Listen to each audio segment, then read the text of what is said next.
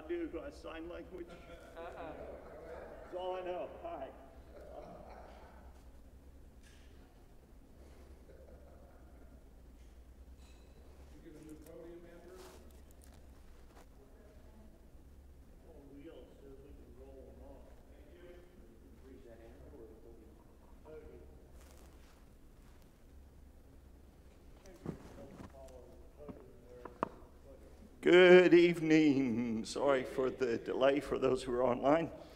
Uh, I'm just going to open in prayer, share a couple things real quick, open in prayer, and turn it over to Andrew. Uh, I was asked this afternoon about masks on Sunday. Um, we do, our county is under a mask mandate. We do have to wear masks on Sunday in and out of the building. If you have a medical reason why you cannot wear a mask, please sit in one of the outside sections uh, the way we were doing, I don't know, a few months back before they lifted the mask mandate. So this section to my right has been masked only. Now it's unmasked. And uh, if you're confused, we all are. It's okay. So uh, let's open in prayer. And, and yes, we will be singing Sunday, uh, even though we, will be doing it with masks on, but we will be singing. So let's pray. Father, we do thank you for being so good to us. I thank you for Andrew teaching this class. I pray, God, that you would bless him, use him, bless Brother Morgan as he's teaching the other class on uh, finances. We pray, God, that you'd bless us. And Lord, we're dealing with uh, inconvenience, with masks, and, and just going back and forth. We're all tired of it, but God, your grace is sufficient to see us through. So help us, God, to deal with whatever we have to bless us. We do pray for those in our church that are recovering from COVID. Uh, Pastor Chuck is doing much better. We praise you for that. We think about the the Rose family, the Apperson family, the Mashad family, and uh, there may be one or two more, I'm not even sure. There's just uh, a number of people dealing with it. We pray that they would all heal quickly, be able to be back here very soon. We just thank you and praise you for all this now. In Jesus' name, amen.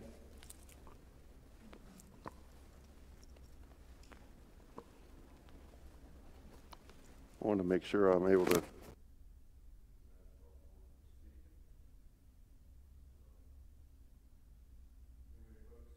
Good evening, church. Good evening. I want to welcome you tonight. I'd ask you to, if you would, open your Bibles with me to Romans chapter 1. And if you would, out of respect for the reading of God's Word, if you'd uh, stand with me. And I'm going to begin in verse 15, I'm going to read through verse 25 of Romans chapter 1. Hear the word of God.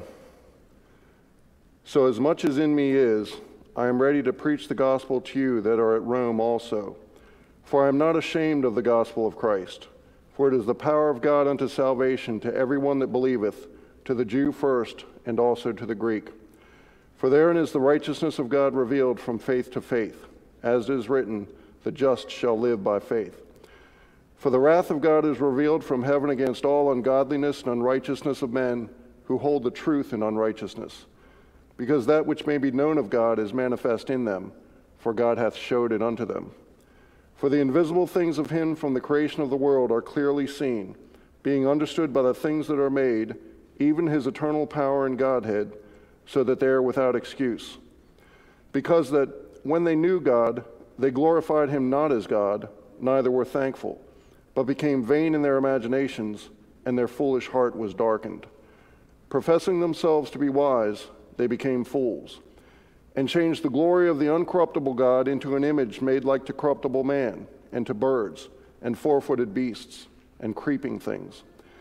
Wherefore God also gave them up to uncleanness through the lusts of their own hearts, to dishonor their own bodies between themselves who changed the truth of God into a lie and worshiped and served the creature more than the Creator, who is blessed forever.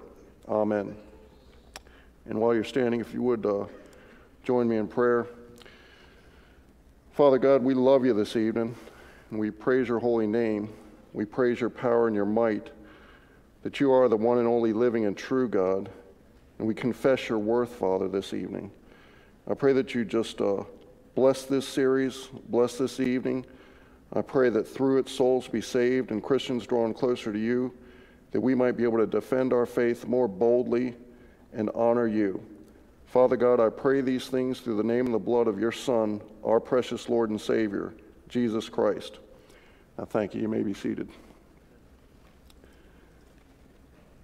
Well, First of all, I want to thank you folks for uh, being here tonight, uh, those of you here in person and those of you watching online, listening online. Perhaps you're watching or listening at a later date to a recording of this. Um, but I'm really going to go into the who, what, where, when, why, and how of apologetics. Okay? Uh, let me ask you a question first of all. Have you ever felt unequipped to answer a question from the unbeliever when sharing your faith? Or have you ever felt unprepared to handle objections or how to respond to objections to your faith? And because of that, is that holding you back from witnessing? Uh, is it keeping you from having boldness and confidence in sharing the gospel of Christ and leading souls to Him? Well, Throughout this series, I want to share with you a Christ centered, God honoring, biblical apologetic that hopefully will simplify things for you and help you to respond to some of these objections and be able to uh, have a winsome witness in uh, leading souls to Christ. I've entitled this series, No Apologies. Okay? This is a biblical study in Christian apologetics. Now, first of all, what does that word mean, apologetics? Does that mean we go around saying we're sorry and apologizing for our faith or making excuses or excusing our faith? Well, it comes from the Greek originally, apologia, and uh, the Latin is apologia, same word really. But to define those words, Merriam Webster calls it a defense, especially of one's opinions, position, or actions. If you consider dictionary.com, it's an apology, as in a defense or justification of a belief or an idea, etc. Now, in literature, it would be a work written as an explanation or justification of one's motives, convictions, or acts. So, how does that word apologia relate to apologetics, the field and the study itself? Well, if you look up uh, Webster's 1828 dictionary, apologetics is a study of defending by words or arguments, excusing, said or written in defense or by way of apology as an apologetic essay. Um, dictionary.com says it's the branch of theology concerned with the defense or proof of Christianity. Google calls it reasoned arguments or writings in justification of something, typically a theory or religious doctrine, and it gives as an example in quotes free market apologetics.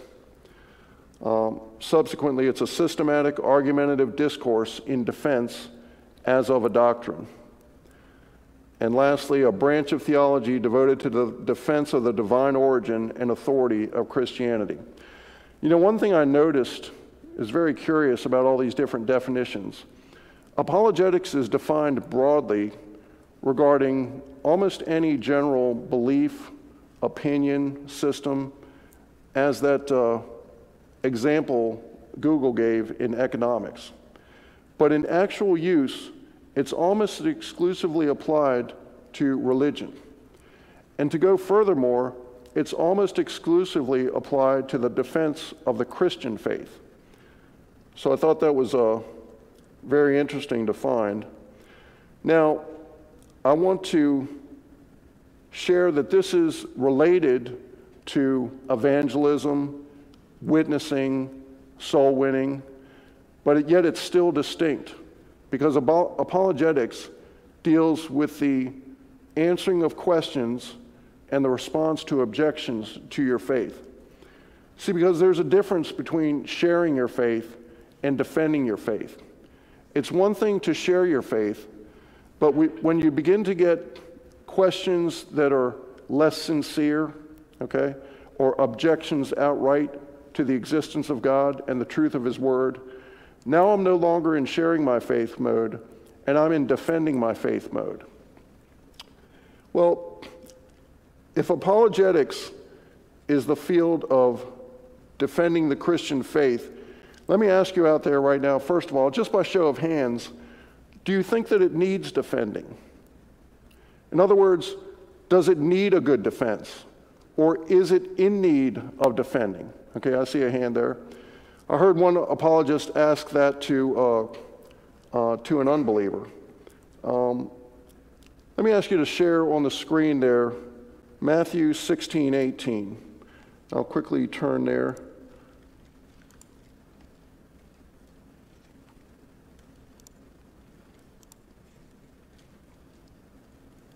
Matthew 16, 18.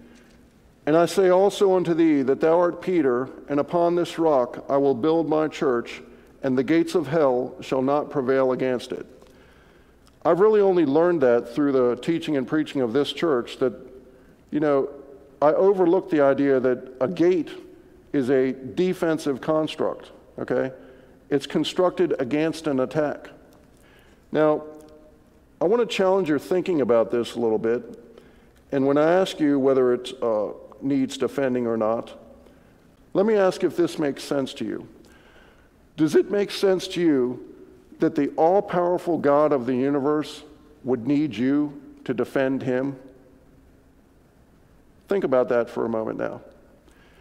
You know, it reminds me of a, uh, of a conversation I had with an unbeliever who charged me with the accusation that all we're out for is, is his money. And uh, I was no longer in sharing my faith mode, I was in defending my faith mode. And it, it was a very, you know, uh, vitriolic uh, attack. To which I replied, If my church really needed money, would I really be coming to you? Wouldn't we really be sitting down at a bank uh, for, for, for money? But I would argue that the church is under great attack, but also it's largely the faith is rejected, it's dismissed, it's ignored out there in the world. Let me tell you how this uh, series came about. This started back in May. Give you a little background here on a leadership meeting in Zoom. And uh, Pastor was talking about having different training sessions on Wednesday nights. Now, I remember Debbie Lawson making a comment that she was interested in evangelism and witnessing, soul winning. I'm not sure if she used all those words or even apologetics, but I couldn't stop thinking about that throughout the, the whole meeting. And the reason is because over the past few years, and especially over the lockdown in particular, I've spent a lot of time reading and watching and listening to apologetics. Um, in years past, one man from this church gave me a, a Bible or a commentary by Dr. Henry Morris, who is a large proponent of the literal, literal account of creation in Genesis. Later on, a man in this church turned me on to Answers in Genesis, uh, to Ken Ham and his ministry. And it really bolstered my faith regarding the literal account of creation, and it steered me back to biblical authority. A few years ago, I would uh, sit in the library while uh, Donna was in uh, choir practice, and often I would look at books there and study for my next uh, Sunday school lesson. And I came across a book in there titled The Ultimate Proof of Creation. And I'll share it with you now. It's by a gentleman named Dr. Jason Lisle. He's a PhD astrophysicist out of the University of Colorado.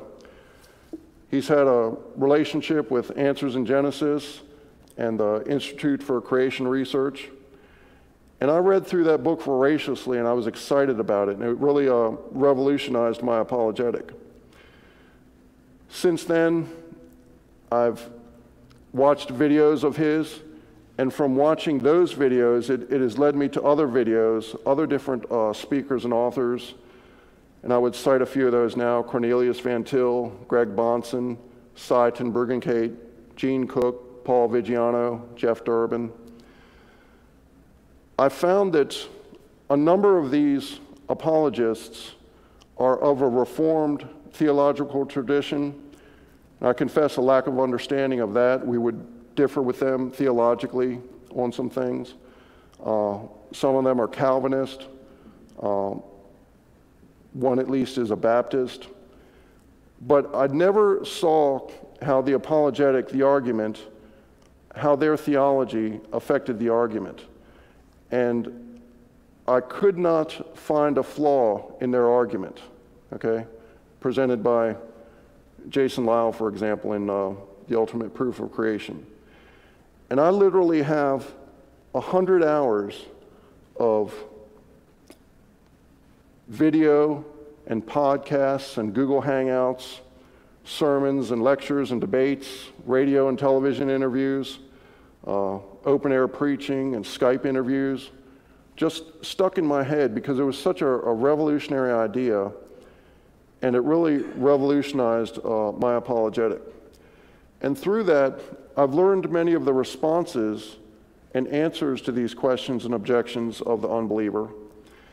And one thing we were talking about in this Zoom meeting is the church was getting ready to reopen. We wanted to see how things were going to look like in the fall. And essentially, you could wipe the slate clean and do anything you wanted to do. If, if you were going to make a change, then now would be the time to make it. And we questioned each other why there was such an ambivalence, ambivalence out there in the world to faith. Pastor preached on it Sunday that we've gone through a worldwide pandemic and repentance has not come to this country. And I thought a minute, and I thought for a reason why there's such ambivalence to faith out there. I think that there's an idea out there in the world that this is just a belief that we hold, that it's not necessarily true, that it's just simply an arbitrary belief that we hold, and that it's really equivalent to a lot of other activities which people are conducting even right now. That it's uh, no better or no worse. One man told me years ago that I'm just living life the religious way. He told me that we do it for the camaraderie. Well, you know, there's people in a bowling alley tonight with a silk with a, a, name on their silk shirt, and they're they're uh, bowling in a league. You know, on Saturday they'll be playing softball, and there's camaraderie in that. But that's not the reason why we do it. We do enjoy fellowship, but that's not the reason uh, why we assemble. You know, they say out there in the world that faith is just a crutch, that uh, it's something that helps us get through the day, that it helps us to sleep at night. So if I were to ask you tonight, why are you a Christian? I might get many different answers in here, and a lot of them would, uh, would be true. But I was challenged by that question myself, and I've come to the position of uh, some other apologists in saying that that really encapsulates two sub questions within it. The first is, what is the reason why you are a Christian? And the second is, what is the cause of you becoming a Christian? Now, of course, the cause of me becoming a Christian is that God saved me, right? God took out our heart of stone and gave us a heart of flesh. But the reason why I'm a Christian is because it is true, that it is objectively true, that God exists and His Word is true. Well, not long after that uh, Zoom meeting, Christopher called me, asked me to teach. I told him I really only had about an hour of material, maybe two at the most. And uh, he asked me if I wanted to pray about it, think about it. And uh, really, right there on the phone call, I said, No, I, I know I'm supposed to do this. Um, and we both decided that maybe I could expand on that hour I had. So I'm going to try to cram an hour's worth of material into six weeks. So now I'm going to ask you to begin reciting a verse for me, okay? And for you in the sound booth, I'm going to ask you not to put it up on the screen yet. There's a reason for that. Don't, don't give me the address, but if you could just start reciting what you think is the most famous verse in apologetics. What is the. So the world, that he son, okay, I've got. I've got John 3:16. What I'm seeking is the charter verse for the field of apologetics. Well, that's actually very good. I have Genesis 1 1 here, too. Be ready to give an answer. Okay. Pastor said, Be ready to give an answer. Okay? And we can go ahead and put it up there 1 Peter 3.15. Okay? We'll go ahead and uh, turn there.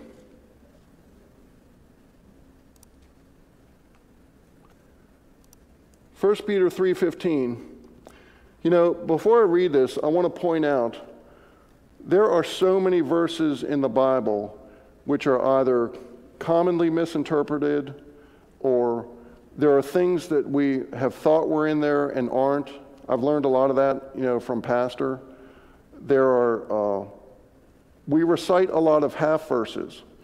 And if you notice this, if I had asked any of you to recite 1 Peter 3:15, we all might have started with always be ready to give an answer.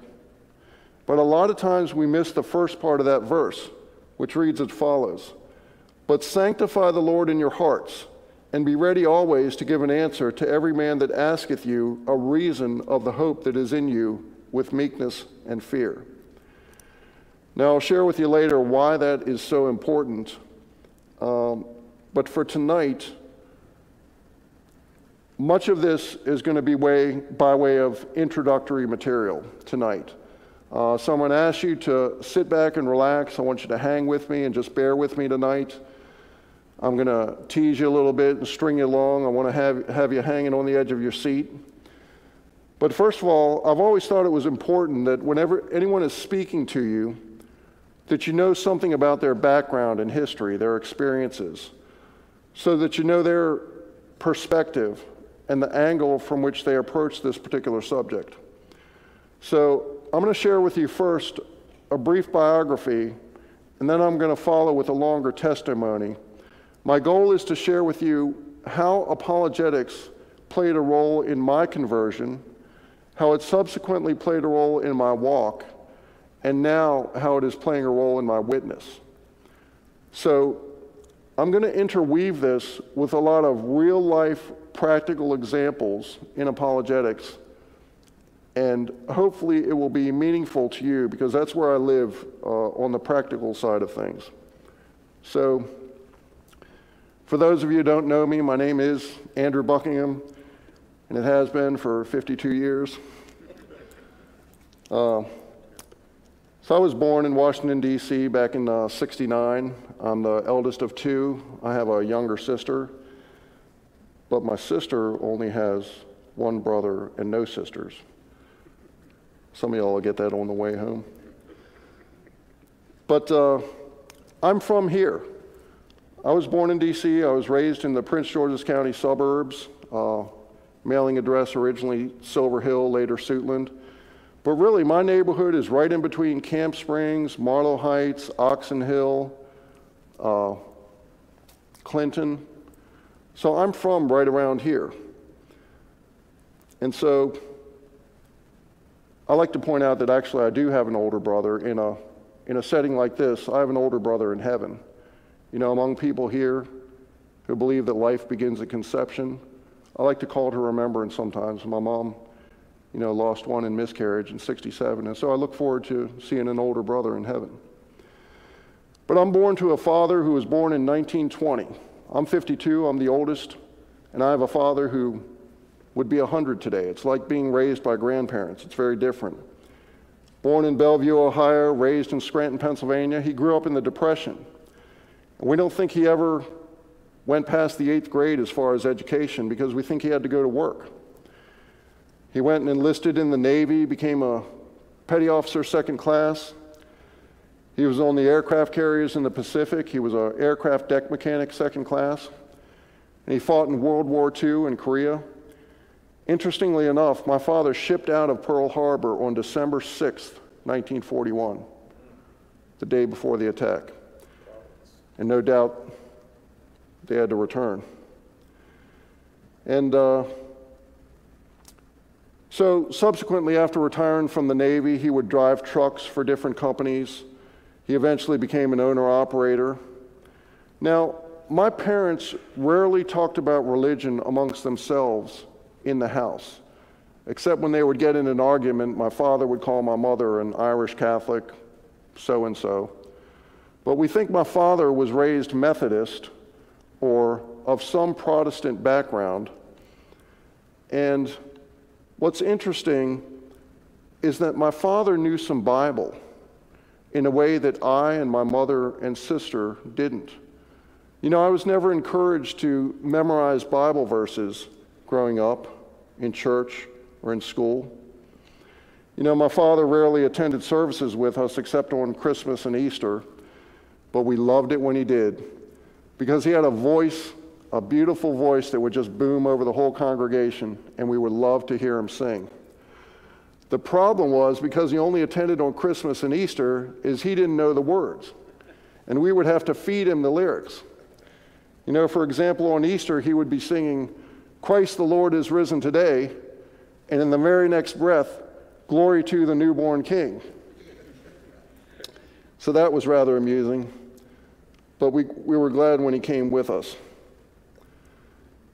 He was not a formally educated man, but he was rather self educated. I can hear him even now stirring his coffee in the morning and voraciously reading the paper. He retired uh, from owning and operating trucks. He had owned multiple trucks and trailers, and he went to work uh, driving trucks for someone else, driving a straight truck for a small company. And uh, I remember in college, at university, one Thursday night, I got a call from my mom.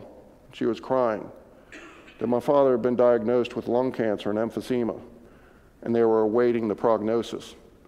Now, as it turns out, I was in Air Force ROTC, and I was about to take a trip the very next day to Joint Base Andrews. They called it Andrews Air Force Base back then. My mother and father drove and met us on base at the bus. And as I walked up to my father, I could see him crying because I'm walking up in my Air Force ROTC uniform and I put my hand on his hand, and he puts his other hand on mine, and I just knew. You know, he was diagnosed to live uh, six months to a year. He wound up living a year and a half. And uh, I came home and worked nights. My, my mother worked days, and we took care of my father. One night that was very unusual, I came home early, which I never did. And my mom stayed up late, which she never did. And dad was having a bad night. And he had gotten up to go to the bathroom, and we heard him fall in the bathroom. And I tried to help him up, get him onto the bed, and mom went to uh, call the ambulance. We got him up and conscious and talking, and the paramedics were tending to him. But all dad wanted to do was just to go to the bathroom. And I remember him saying, Bubba, can you help me up? And as I tried to help dad up, it must have been just too much for him, too much for his heart. He must have just had a massive heart attack and I felt him let go. And so there he died in my arms. My mom was born in 34, born in Kansas, raised in uh, Iowa. They moved to Iowa when, when she was three. Her father was a machinist for John Deere, and her mother was a wife and a homemaker. She was raised as a strict Catholic. She attended Sacred Heart Church and school. She was recruited straight out of her senior year into the Hoover FBI. The recruiters had come to her school when she was 18 years old, and she went straight off to work for the FBI, and she worked there 10 years. You know, my sister and I often uh, quip that we think my mom was an FBI interrogator because you could not get away with anything. The way that she would frame a question had you tied in knots before you knew it. She could tie you into pretzel that way. But uh, my mom later on went to become a personal secretary for Senators Fong and Hayakawa, Senator Fong from Hawaii and Hayakawa from California. She went on diplomatic missions throughout the world, through Asia. And uh, I remember our entire basement was filled with file cabinets full of steno notepads and shorthand. My sister and I said that we held the secrets of the world in, in our basement. But she was a she earned an associate's degree from Strayer Business College, and she was skilled as a, uh, in dictation and shorthand and as a typist, supervised a room full of 25 other secretaries. And so, in our formative years, my mom quit work and came home to raise us. Before that, we were being raised by, effectively, we didn't know it, but a nanny, really just a friend of the family, a nice little old lady. And uh, she came home to raise us, and later on she went back to work, but the world had changed. You know, she had been skilled on a $1,100 IBM Selectric typewriter, and now she had to learn a computer. But she learned WordPerfect, and she learned the computer and worked some years later until she retired. And then she moved to New Castle, PA with my sister and brother in law and the two kids, helped raise the grandkids, and enjoyed her senior years until she passed away in 2015. Now, I'd like to share with you uh, my own personal testimony. That's a little bit of, of background. And uh, share with you, practically speaking, how apologetics played a role in my life. Well, my sister and I were raised strict Catholic by my mother, and we went to a primary school, a Catholic school, and in that Catholic school, I would learn one thing in religion class. I would learn the Genesis account of creation. I would learn the same thing in CCD class. And I didn't question it. And each class attended a daily mass one day of the week. And I remember specifically sitting on the front pew, kneeling down in my kneeler, praying a prayer which I had recited by rote many times before, and attempting to impute meaning into this prayer. And for some reason, it rang hollow and empty. And that made a difference to me. And I tucked that away in the back of my mind. You know, there's a difference between saying a prayer and praying. And I didn't understand that back then. But uh, turn with me to uh, Matthew 6 7, if you would. Share a quick verse of scripture in Matthew 6 7. I learned this much later. But when ye pray, use not vain repetitions as the heathen do, for they think that they shall be heard for their much speaking. But I hadn't heard that, and I didn't understand that then. So, in that school and in that church, I was baptized, catechized, Simonized, as Pastor Dave used to say. I took my first communion, not discerning the Lord's body, as the scripture states. I didn't understand that back then. I was an altar boy. I wore the, the frock and the vestments. I would hold the book for the priest. I would swing the incense. Incidentally, you know that book I held for the priest? That's not a Bible. You know, you walk into a Catholic church and there's nary a Bible to be found. Okay? It's essentially a program, okay, a script, a liturgy. It's the liturgy of the Mass. And there's missalettes all throughout the pews. It's a program. I didn't understand that. But uh, then I was sent to a private college preparatory school for boys. It's run by the English Benedictine monks. It's a grade 6 through 12. We call it Form 1 through 6. It's a very strict, rigorous academic environment. But in religion class, I would learn one thing, okay, this same account of creation. And then I would walk over to earth science class and learn something different. I would learn about billions of years. I would read in scripture class that same account of creation in Genesis, but then I would go to world history class, or ancient history perhaps, or biology class, and learn about evolution. And I would try to reconcile these things in my own mind. And the best way I thought to do it was I would have to allegorize the account of creation in Genesis. But I was doing so really without basis. Now, there's in house debates within the realm of Christendom, within Christian circles out there. There's ideas such as the day age theory, when the Bible states the, that a day is as a thousand years and a thousand years is as a day. There's ideas such as the gap theory, that there's a gap of time, say between Genesis 1:1 and 1:2, other places. But I didn't buy that. I thought it was either one or the other. But it was the only way I could really reconcile this in my own head. Then I would go to church history class and learn about Anselm's ontological argument for the history for the for the existence of God. And essentially, the definition is God is that being than which none greater can exist. But I was told that you can't ever prove God because I cannot show you very God. I cannot show you Him physically. So I was taught that I cannot prove God, I can only demonstrate Him. And that piqued my curiosity because although I was not saved, I have never known of a time in my life when I did not know of the existence of God. I have never known of a time in life when I did not profess my belief in God. You see, Satan believes God exists. That's not doing him any good. So,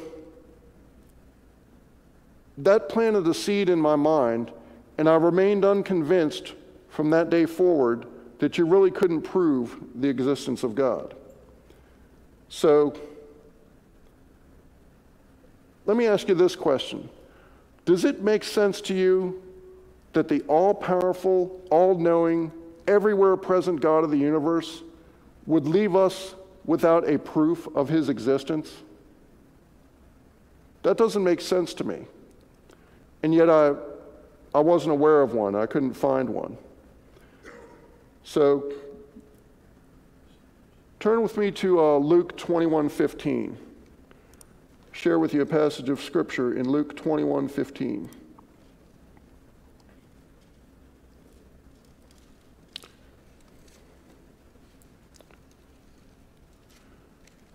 For I will give you a mouth and wisdom which all your adversaries shall not be able to gainsay nor resist. We have the words of eternal life here. Now I realize it's almost sacrilegious for a bookbinder to be scrolling through uh, verses on a screen, but uh, simply for time's sake, I beg your pardon. So, I would ask myself, how is it possible that another could not know something which I seem to know innately, which was simply built in? You know, if you go buy a computer today, it comes prepackaged with Windows. It comes with an operating system already loaded into it. You need that operating system in order to install more software and apps. If they just sold you a piece of hardware with no operating system in it, you could not do a thing with it. So that's my analogy there. But uh, I would go on through prep school, and I, I went through confirmation. It's a Catholic rite of passage for young adults. Um, I remember very specific in instances in my upbringing that spoke volumes to me. I remember going to my neighbor's house to his door on Halloween. See, as Catholics, we celebrated Halloween. We even celebrated school and church. We would dress up. I probably went far too long in my teen years celebrating Halloween, but I showed up at my neighbor's door, and there's a sign on the door This house is covered by the blood of Jesus Christ, or words to that effect. Okay, we don't celebrate Halloween here. Okay, this house belongs to Jesus Christ. And that made an impression upon me because these were new neighbors. I didn't know them very well. I didn't understand their theology, but I understood that they were serious about their faith, that this was not just a casual church on Sunday sh- social gathering. This was not just coffee and donuts, but they took this seriously. Well, I remember I was open to other faiths because I always wanted to learn about other faiths. And I was invited by a friend of mine to stay the night over at his house and I attended his service with him. He was a Mormon. I attended the service. I went to a, a dance with him the, the night before. It's funny, I got to dancing too close to the girl and they slipped a Bible in between us. I had heard about that, I'd never seen that. I didn't understand that. But uh, I didn't understand his Mormonism, but I understood that he was serious about this belief system that he would go on in his, uh, in his later years on a pilgrimage that they, that they all went on. So, after prep school, I began to attend a Catholic church when I went to university. I attended with my roommate, I think it's St. Paul's there in Pittsburgh, but I quickly fell away and I really didn't pursue uh, my Catholic religion in college. And then I remember walking across the cut on campus one day and seeing all these signs across campus that said, Cliffe is coming. C L I F F E, Cliffe is coming. And so it wasn't long after when I would walk across the campus and see a gathering off in the distance, up by the fence, a famous fence, under a specific tree, and there was a crowd gathered. So I went up to see what was going on, and there was a curly headed man tall, thin guy with a microphone and a speaker, and he was preaching, and he had drawn a crowd, and he was getting heckled. And mind you, I had never been in a secular setting before, and I, I had not heard heckling like this before, really vitriolic things. He was getting some sincere questions and some legitimate ob objections, but he was also getting he heckled. I looked him up uh, not long ago. His name is Cliffe Knechtle, K N E C H T L E. Cliffe Knechtle. You'll see him on the on the internet. But uh, later on, I approached him. He came at another time to our effectively our student union, our Skibo Hall, which is a student union hall, and the same thing happened. But as I would listen to him, one thing I noticed was that this man was sincere about his faith, that he really meant what he was saying. And I heard preaching like I had never heard before. And I didn't really understand it totally, but I, I had sympathy with him and I had some agreement with him. And I approached him afterwards. It's rather amusing to me looking back on this now because I approached him afterwards and discussed some areas of agreement, not even realizing that we were separated, that he was a Christian and that I was not. See, I thought that he was just some other denomination of Christianity. But his sincerity really made an impression upon me.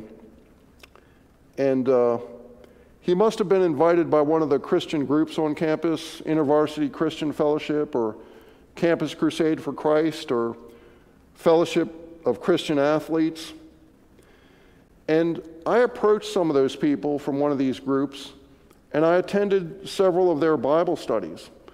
I went with uh, a girlfriend I had in college, and we attended several of those Bible studies never the while realizing that I was yet unsaved, that they were Christians and I was not, that there was a decision to be made. And one interesting thing about uh, my relationship with my girlfriend in college, wonderful lady, but she was Baptist or Protestant of some sort. I never really understood exactly which, but I could ask her questions, and I didn't understand certain things about people lifting up hands in church, and she would talk about people getting happy in church and others needing to attend to them, and I didn't understand that sort of thing. But she never really did witness to me. I was Catholic, but she never really did witness to me, and I think perhaps the ladies sometimes don't want to make waves and it's a very uh, dangerous thing to become unequally yoked, you know, with unbelievers. And uh, we need to guard that with our, our young people. Anyway, we parted amicably, and I went on unsaved. But the Lord began drawing me to Him around my 25th birthday. I remember on my 25th birthday, a friend of mine had bought a book for me we were both always looking at different business opportunities. We wanted to start a band and then a music magazine and this, that, and the other. But he bought a book for me on real estate. And I read that book, and I thought, thought it curious that the author interwove spiritual principles within this business book. Now, I'd never heard that sort of thing before. I didn't really understand that. But I thought it was interesting. But my friend and I were always looking at different sort of business opportunities. And his parents had gotten tickets to a conference down in DC at the convention center. And they had gotten a couple of extra tickets and they brought their son and invited me to go along with him. It was called Success 94. It was put on by Peter Lowe International. And it, what it was was a business conference, a business convention, very generally speaking. And they would have different speakers from all different areas of business and industry come to speak. For example, at that time, uh, Mario Cuomo was speaking on politics, and uh, Joe Gibbs spoke from the world of sports, and a man named Zig Ziglar spoke, uh, speaking of sales. And the whole conference was about typical business things, salesmanship, and goal setting, and time management, and all these sort of things. And all these people in business suits and, you know, from various walks of life in uh, businesses and uh, management, they attended. But I remember at the back of the hall, there was a table with a banner which read free above it. And so you can believe that I showed up at that table. And there was a crowd gathered around, and they were giving away free audio cassette tapes. And I looked at it and it said Zig Ziglar's Christian Testimony. Don't you know, I put that cassette tape in the player and I played that and I played it again and again and again to where I could, if you started me off on the first few words of it, I could almost recite it verbatim. I was taken by it and just absolutely fascinated and mesmerized by it. But you know, it's interesting to me is that I still had the blinders on. It completely escaped me that at the end of that audio tape, there was an invitation. And I did not understand that. That was a foreign concept to me. So, at some point during this time, I decided to question everything I ever believed. And I asked myself, am I Catholic because I was raised Catholic? Or am I Catholic because I believe these things? And uh, so I decided I was going to wipe the slate clean and start all the way over from scratch. I found the biggest bookstore I could find. I went to the Super Crown bookstore in Springfield Mall, right outside of Springfield Mall in Virginia. And I spent a whole day in the religion and philosophy section. Thousands of books just pouring over titles. And one thing that I marked was very curious about this out of all those different books on religion, the only faith, the only books which contained a defense of the faith were Christian books. The only books which dared to claim this is the way, walk ye in it, were Christian books. All of the other titles were a history of the religion, they were a how to, they described the rites and rituals. And that made an impression upon me. So I took a, uh, a book by C.S. Lewis, The Case for Christianity. Okay, I didn't realize it at that time, but that's actually a condensation of his book entitled Mere Christianity, which itself is a compilation of his live radio addresses over Britain while they were being bombed during World War II. And I read that book voraciously. I highlighted it and marked it up and wrote in it and dog eared. You got to understand for a bookbinder to write in his book, it's almost sacrilegious. You don't know how much trouble I go through to get your books to you clean. But I devoured that book and it appealed to me. The logic of it was beautiful to me and it was very appealing to me. And I thought, okay, Christianity is true. But what's the correct form? What's the right expression of Christianity? Where do I go from here? It appealed to me because it, it followed a logical, rational, critical progression of thought. You know, it's interesting, as much as I say that I tried to wipe the slate clean, I really never did that because I really never strayed far from Christianity at all. I realized now that I had a tether that the Lord was holding to me. But I also realized later the myth of neutrality, the fallacy of neutrality, the idea that human beings really can wipe the slate clean and start over from scratch. We all have amassed a body of experience and knowledge which forms a belief system which we bring to any given evidence. And it's through that belief system that we evaluate any given evidence.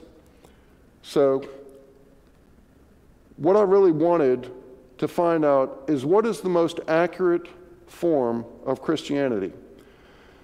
Well, many of you know I used to work with Kenny, okay, good friend of ours here. And uh, Kenny used to leave tracts in the men's room, okay, at work.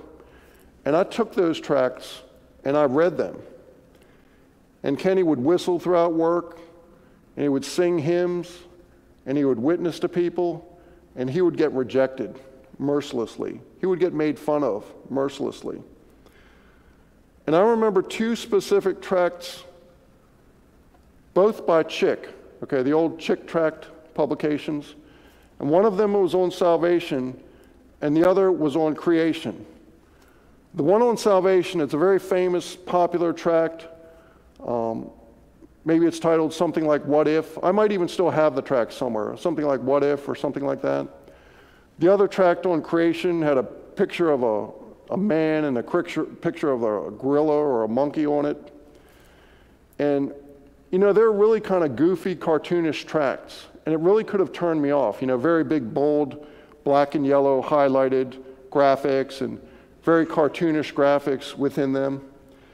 But I read through those tracts, and it made an impression upon me because the ideas therein were really eye opening and revolutionary to me.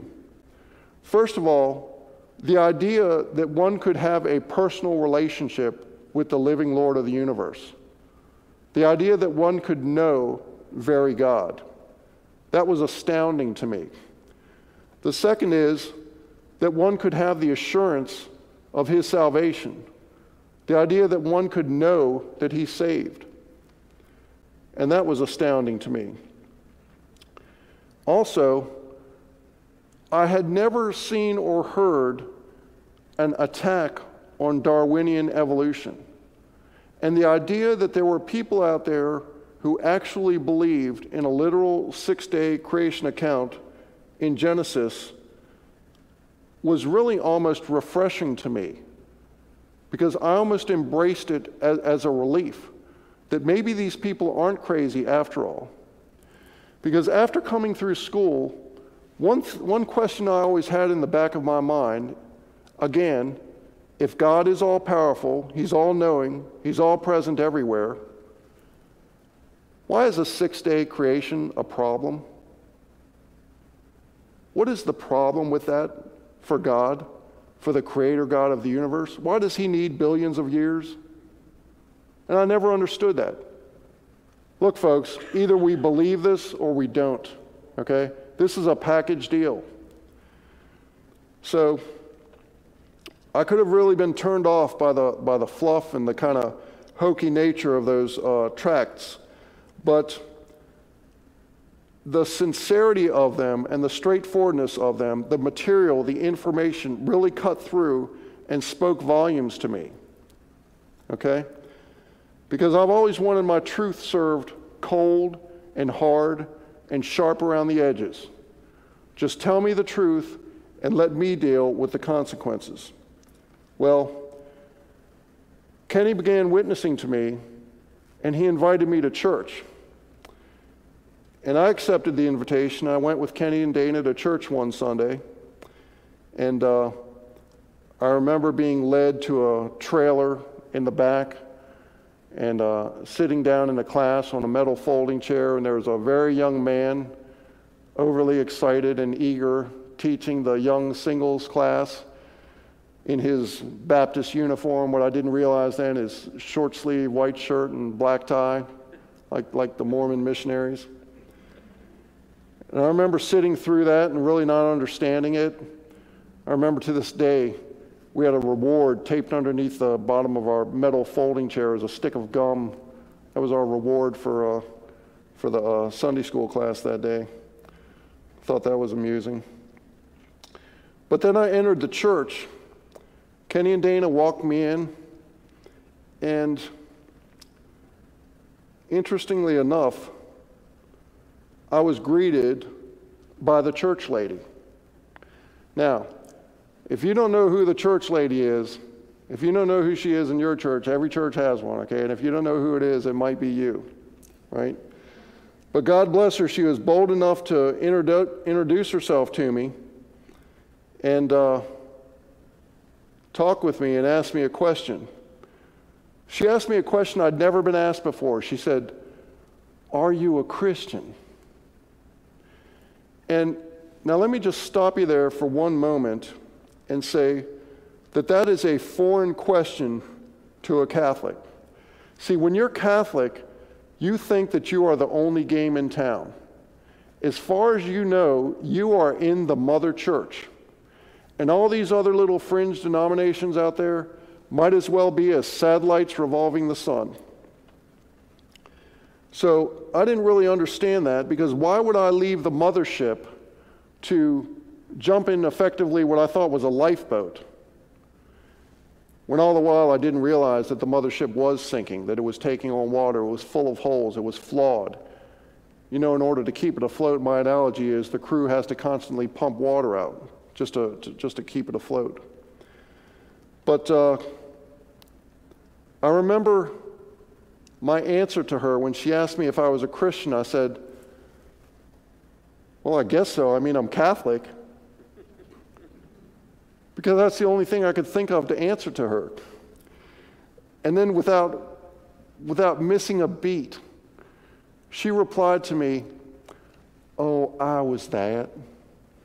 In the most condescending, patronizing, just, just dripping and seething with patrimony. She didn't even realize it. Bless her heart, right? Now, I could have taken offense to that, okay? But I think I've always been a man who doesn't easily take offense, okay? Matter of fact, uh, turn with me to Psalm 119, 165. Psalm 119, 165. And you'll probably get there before I do.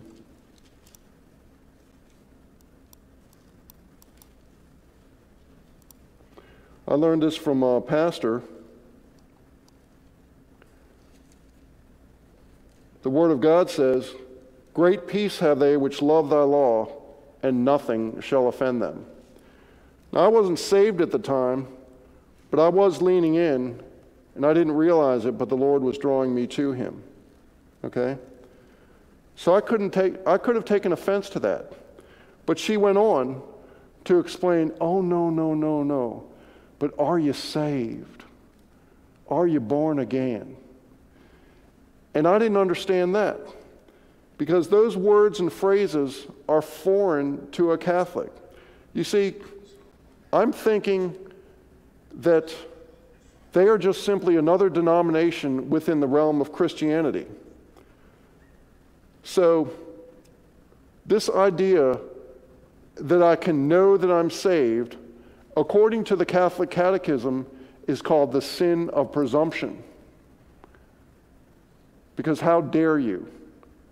How arrogant that you, you claim that you know that you're saved. Okay?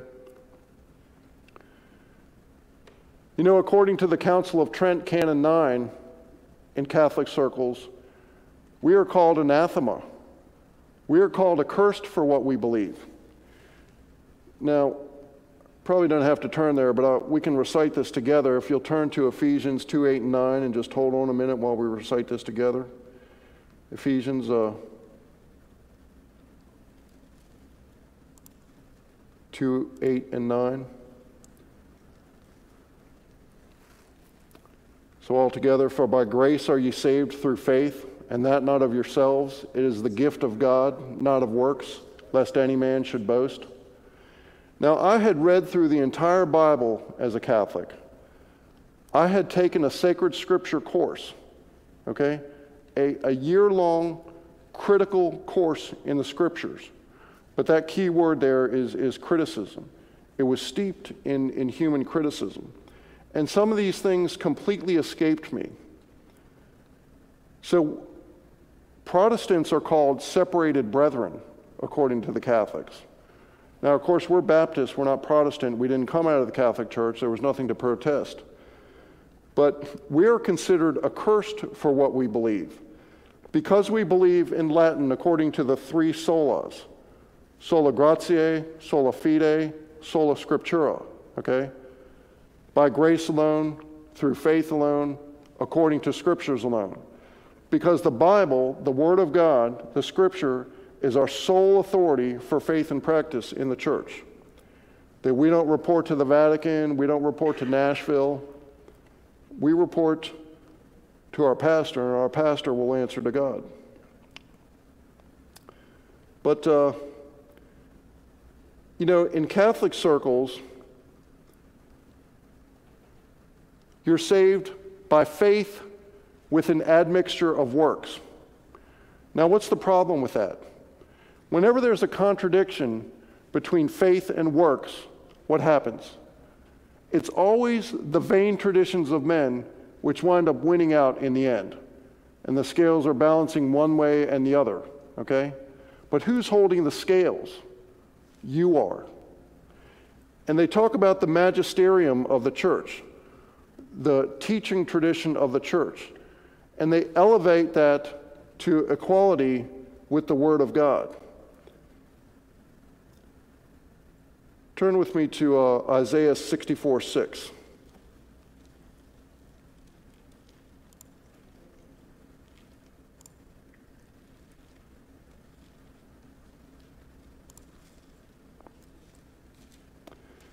But we're all as an unclean thing, and all our righteousnesses are as filthy rags, and we all do fade as a leaf, and our iniquities, like the wind, have taken us away according to the scriptures, there's nothing that we can do, there's no works that we can do in order to merit salvation. I always had this thought in my head how is the finite to merit favor with the infinite? And how is the finite to apprehend the infinite? I could never reconcile that with myself. But uh, turn with me again to uh, Colossians 2 8.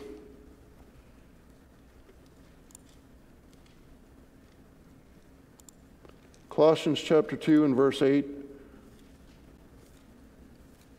I'll quickly read that. Beware lest any man spoil you through philosophy and vain deceit, after the tradition of men, after the rudiments of the world, and not after Christ. Speaking of the vain traditions of men, our rites and our rituals, excuse me, our works, are as filthy rags in his sight, and they're vain. Well, in the Catholic Church, there's a hierarchy. You know, they have their pope. They claim that uh, Peter was the first pope. They claim that he can speak ex cathedra, uh, that being infallible. And so that's how they claim that uh, human tradition can become equal with the Word of God, that they're speaking for God. But uh, when this lady asked me if I was saved or if I was born again, I didn't know how to answer her. And I'm not sure I really did. I might have given the classic answers. Well, I hope so. I, I think so. I mean, I'm a pretty good person. What's the classic one some people say? Well, you know, I never murdered anybody, as if the bar could be lower, right? You see, I thought that perhaps if my good works outweighed my bad, then I'd be able to eventually make it into heaven. You see, in the Catholic tradition, they argue for a place called purgatory, in which one can be punished for a time for one's venial sins and eventually make it into heaven. A mortal sin would send you to, to hell. Of course, you don't find that in the Bible. You know, I, I never knew that, but of course, in Catholic school, I was also reading a different Bible. Okay?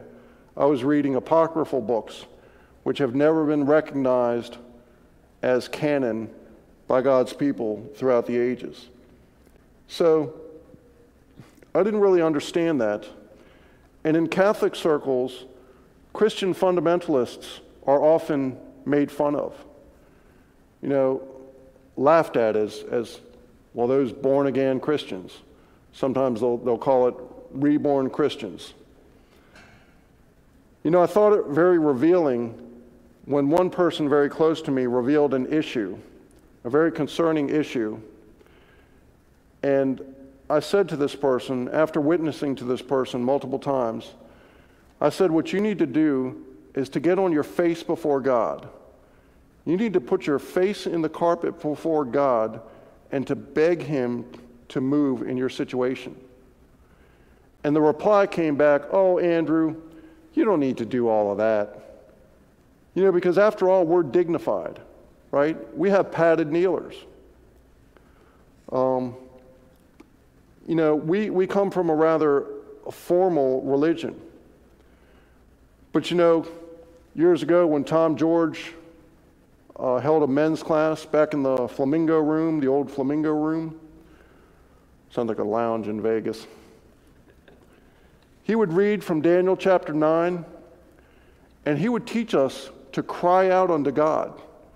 He would share with us from the scriptures when men cried out unto God. And there were times when he would get down, face down on the floor, and cry out unto God. And he would teach me things like that. So I learned that. But you know, I sat through that entire service that I was invited to. But now at this time, I understood that there was an invitation at the end. Now, I didn't really understand all of the preaching and teaching but now I understood that I was expected to go forward to the front of the church and do something, say something, I don't know what. I didn't really understand it at the time, but I knew that Kenny and Dana sitting next to me, head bowed and eyes closed, I knew right then as an unsaved man that they were praying for me. And I had sat right about there just a few rows from the front, and Kenny had conveniently placed me on the edge of the pew. but you know what? Even then, I didn't want to go up front and do something or say something just for the sake of doing or saying it when I really didn't understand it. Well, there was a time when I rode with my mother to visit a real estate agent. He was selling a house to my sister and my brother in law. Then he asked me if I was interested, and that had never really occurred to me. I was 25 years old and single, had no idea I could buy a house back then, but I'd gotten a promotion. I was a young, newly minted night shift foreman. And uh,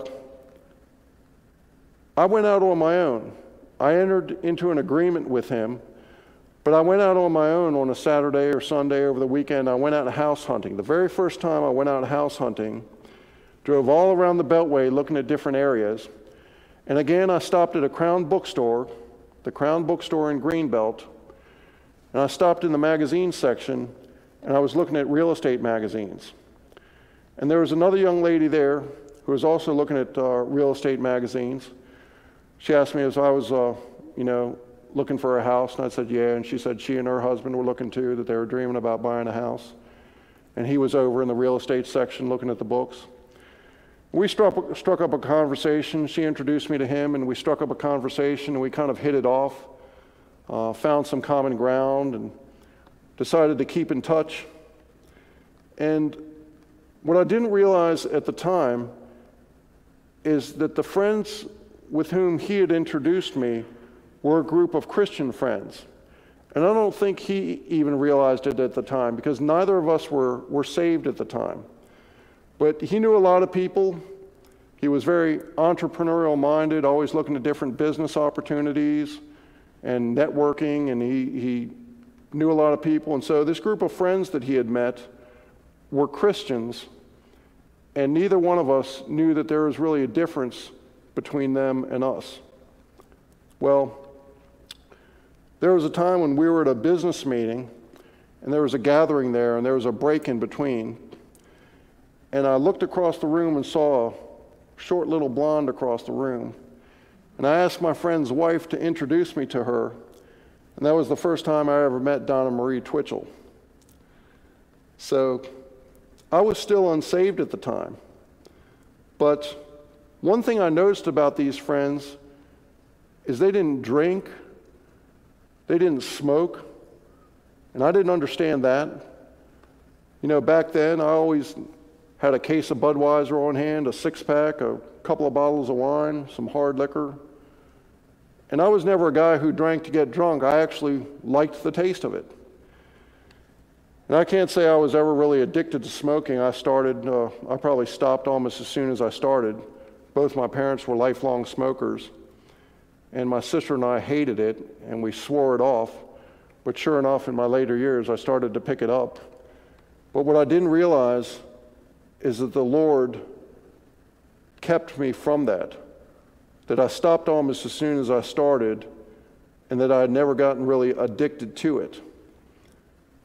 But I remember after hanging around this group of Christian people and realizing that they didn't drink, I remember one afternoon in my apartment, staring down into the empty Moosehead that I was holding. And I said to myself, if not audibly, I may have said this out loud to myself you know what? I don't need this anymore. And I remember carrying around the bottle cap like Sam Malone from Cheers for weeks afterwards, thinking that I needed some token or something to remind me of what I had done. And I hadn't even really made any sort of a commitment because what I didn't realize is that the Lord had just taken this desire from me. He just took it. And from that day until this, it's about this time, 27 years ago, I've never had a sip. I've never had the desire, never had a cigarette. Not that those things are going to save you, but it speaks of how the Lord was drawing me to Him. Now, I'm going to wrap it up here, but I want to close by citing four specific, specific verses in Romans chapter 1. We already read from verse 15 through 25, but I want to share with you something which was really revolutionary in my apologetic, okay? And something that I've read through Romans chapter 1 how many times and I completely missed this. And maybe you might be hearing and seeing this for the first time as well. Beginning in verse 18 through verse 22.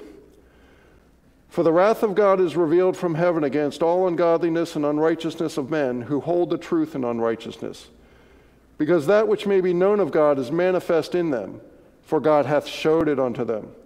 For the invisible things of him from the creation of the world are clearly seen, being understood by the things that are made, even his eternal power and Godhead, so that they are without excuse.